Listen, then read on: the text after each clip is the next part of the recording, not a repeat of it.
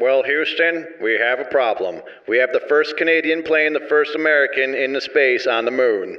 Ryan Gosling is Neil Armstrong in First Man right now on Miscast Entertainment, and you owe him a shot.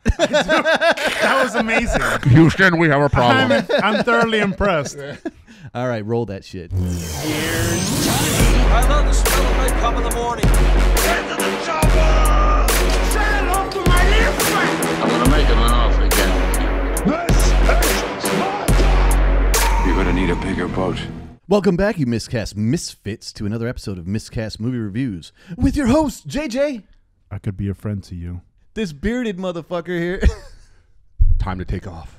Time to take off. Take off in the First Man.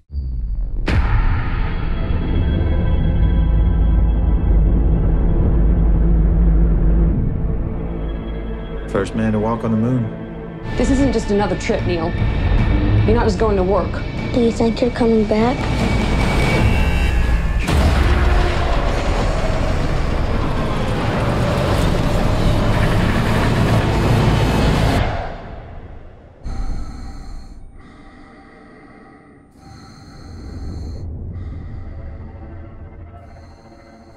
First Man, guys. Yeah. So this is that rumored Oscar nomination madness that Yeah. everybody's been talking about for what six months now. Yep, Yeah. yep. It's- everybody- it's gonna win some Chazelle. awards, I think. Oh yeah. Oh yeah, it's Tons, gotta. It's tons. Too Yeah. much buzz. So, I'm I'm gonna guess. Can, can I'm gonna go out on a limb and say this is probably gonna win more awards than any other movie this year. Uh, I'm not ready to say It's that, but too I wouldn't man. doubt Yeah. it. You know, I'm gonna you- do it. You I have that wouldn't doubt Bradley it. Cooper shit, man. What Bradley So- Cooper shit? uh, Star is Born. Star is Born with Yeah, Lady that Gaga. one's. I think that one's leading the pack right now. That movie's straight up doo doo. I don't think anybody's really interested in watching that movie. I'll bet you. It A lot takes of people have Maybe been, for the apparently. song or whatever, but no. Hey, people are loving it. I'll on bet Twitter, you I'll it tell takes it over this movie. More awards in this movie. You want to make a bet now? Yeah. Yeah, One. Sh- one I'll bet beer. you not another shot. I'll, I'll, well, I- Okay. no, I'm betting that it's not going to be this movie that gets the best picture. Well, no. This is what I'm saying. I think this movie will win more awards than A Star Is Born.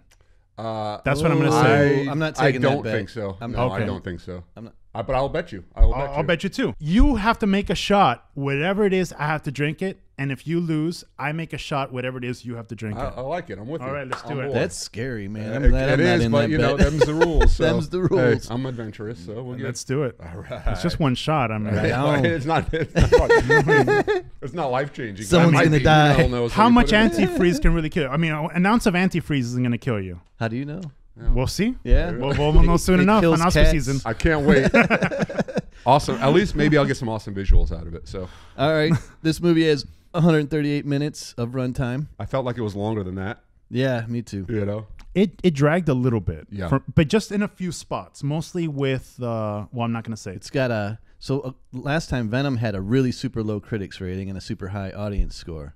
This time it's got an 88% Rotten Tomatoes critics rating and it's got a 67% audience rating. That's surprising. I, I, I think that kind of makes sense to me because, like you said, it was it did drag at, at a lot of parts. The family stuff. I hope that's. I don't think that's spoiler review because this is a biopic. Yeah. Um, well, yeah, it's totally Neil Armstrong's family it's life. his life. Yeah. So uh, the family stuff I thought was a drag for the most part, but I understood that you need they needed it to build up to for the drama of him leaving to go to space and all Yeah. that stuff. It's directed by Damien Chazelle. Yeah, Whiplash, La La Land. Yeah, so he's a he's an alum with uh, old Gosling there. Mm-hmm. So they've worked together. I've not seen either, but I What? did do parodies What of both. How did Isn't you? that how funny? Could you have What are you doing with your time? Yeah. I'm not watching that. I heard Whiplash was awesome. though. Whiplash was is- incredible. It is amazing. La La yeah. Land I heard was visually awesome but boring as hell. No, So- no. I, I liked Whiplash more than I like La La Land, but there uh, people are Same back thing, and but forth. La La Land is a great, great movie. Even Yeah, if you're not it's into musicals, visually it's awesome. it's just an awesome. It's a Right. very well put together film. Ex- yeah, yeah. The- Chazelle knows what he's doing. That's for obvious. Well, I'll tell you who knows what he's doing. It's the producer, Wyck Godfrey. He's like a yeah movie mother of all mothers. he Yeah? did Twilight and Maze Runner. Uh, this whole series. Oh, YA, I so see, you- yeah. you can see his shit all over this Hey, film. I, I enjoy the Maze Runner movies for the most part. I hate all those movies. Really, I like the. Maze Runner. Twilight, not so. I much. rather I, I would rather watch Twilight a hundred times over than the Maze Runner. What? Yes, You're crazy. yeah, It's a Bre- romance. Breaking Dawn, Breaking Dawn all day long. Breaking down all day long, breaking everything, man. I disagree. no way. So, like I said in the opener, Ryan Team Gosling Edward. stars as what was that? Team Edward. Team Edward, yeah, Yeah, man. for sure. Team I'm Bella. team Duh. team Maze Runner. I can't remember the guy's name. So, okay. Nobody can remember what his name is. They're largely forgettable. So, Ryan Gosling, Neil Armstrong. So he's a Canadian playing an American. Yeah. One of the most famous Americans ever in the history of America. I'm glad you remind me. I didn't even I didn't even think about that when I was watching it. Um, yeah, but he was great in Stay. Not a lot of people remember him from that movie, but I think that's his best movie. Stay. Stay. This is not a movie I even know of. What's day? So it's a movie where he got hit by a car and he was like, have, the whole movie takes place in his dying moments. Did that movie premiere in the. WB or something? That sounds depressing. as If you guys saw it, you would not Never be saw saying it. this. So we got Claire Foy as Anne. She's uh, Queen Elizabeth in Netflix's The Crown. yeah. She's playing Elizabeth in the girl with the in the spider's web. That which is- tattoo looks like complete. g- That that tattoo. Sorry. I was just about to say that it's trailer looks like complete garbage to me. the sequel to the dragon tattoo. It looks really bad. Her sister's in it. It looks and like, an it's- action it- flick now. Like it it's- turned it from like this weird drama that was really edgy and unique, and now Yeah. it's like an action. It's just an action movie. I think I saw the trailer when it first came out, and I was like, eh, They all know okay. martial arts, and there's a bunch of like parkour crap. Yeah. And Really? Yeah, Oh, it doesn't look that good. part. Okay, yeah, that doesn't sound too great. Well, it's got uh, Corey Stoll as Buzz Aldrin, Yellow Jacket, and Ant Man. Yep. All right, so what do you think about it? honestly, I felt like I was watching a real movie when I when I sat down in, into theater and I was watching this movie. I was like, "Damn, this is a movie." I wasn't watching. There's all these movies that have come out recently, especially this summer, that felt like I was watching like a product or something. I felt like I was watching like a remake, or it felt like I was watching a movie that I have to see because of this other reason. But this felt like a really good, proper movie. It had an amazing soundtrack. It had amazing visuals. The performances were great. Um, and for a story like this, where obviously you it's historical, so you know the ending, I thought they did a really good job at still, you know, retaining a lot of that tension. So honestly, I, I thoroughly enjoyed this film. Yeah, I I, I, I enjoyed it, um, and I agree with you that it, Chazelle did a really good job of building tension and suspense, even though you knew the outcome. Yeah. It- and that oh, that was that made it exciting.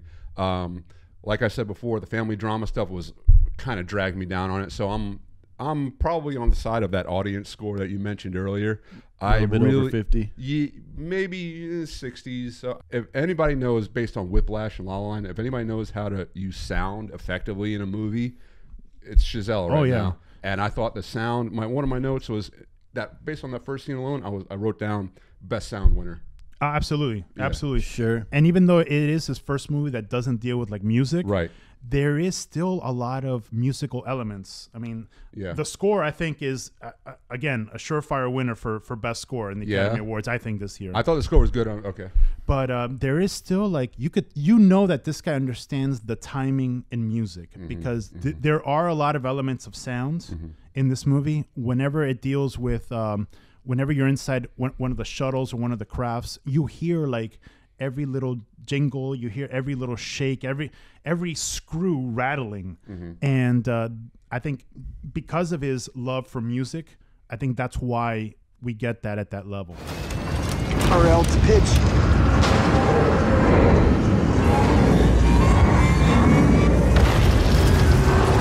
Roll me to 200 and rising. Separate from the Agena.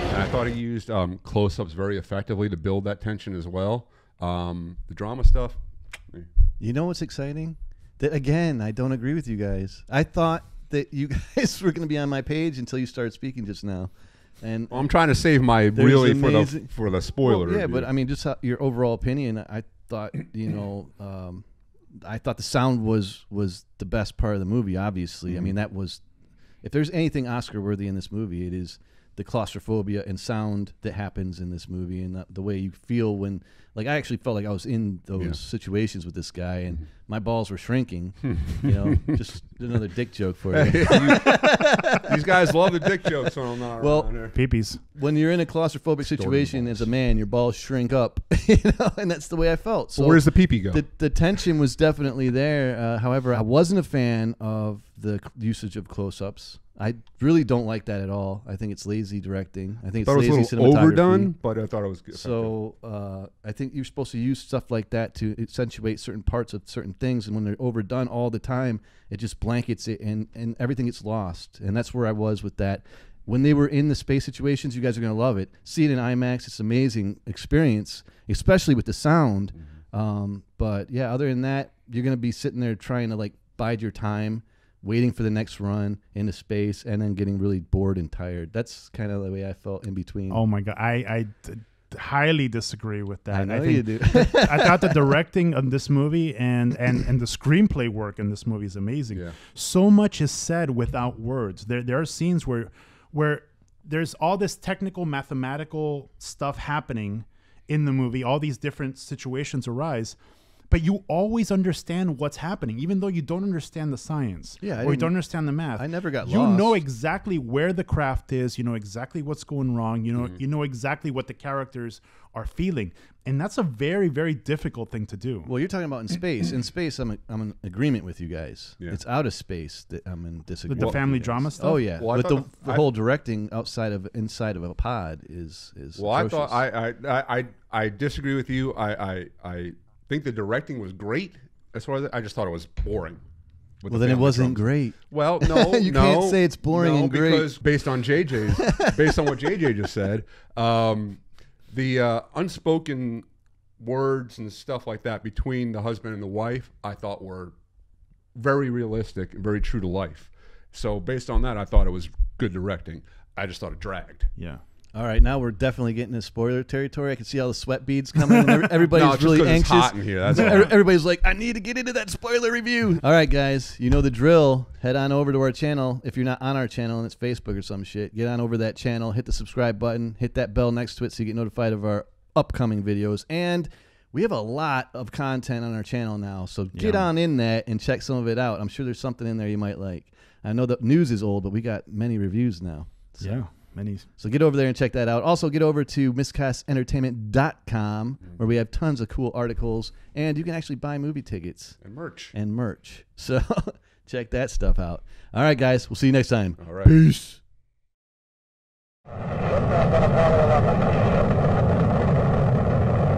Take shadow.